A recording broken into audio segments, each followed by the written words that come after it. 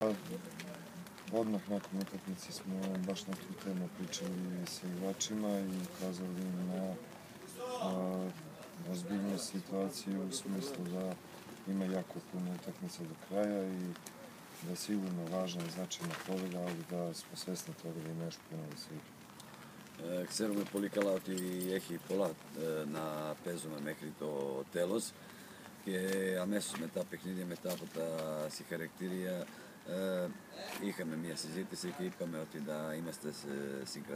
συγκρατημένοι και να μην, το, μην παίρνουμε πολύ φόρα να δουλέψουμε γιατί ο δρόμος είναι μακρύς και στις δύσκολες μέρες που περάσαμε και στις αυτές τις μέρες που έρχονται που θα είναι χαρούμενες πιστεύουμε ότι θα πάλι να δουλέψουμε σοβαρά και χωρίς, χωρίς πολλά πανηγυρία.